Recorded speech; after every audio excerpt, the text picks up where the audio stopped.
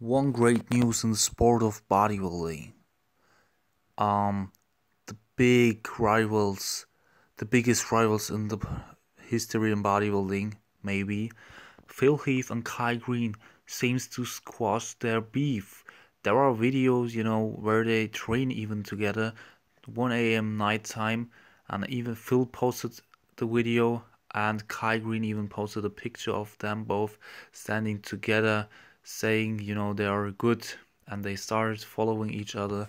And after all these years of rivalry they even got into a fight um, on stage at the Mr. Olympia contest on the biggest contest at the press conference. They had a debate you know. They didn't you know had good words for each other.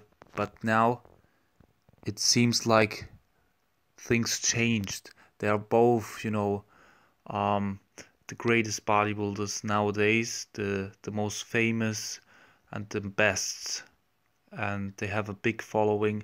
And I think it's a great move that they squash their beef, um, being active. You know, being still active, they squash their beef. Not long years after it. They are both grown men, and I like this move. If you like the news and like bodybuilding in general, please subscribe I will make all the fucking, you know, news in the sport of bodybuilding, the world of bodybuilding, and will always get you updated. So stay tuned.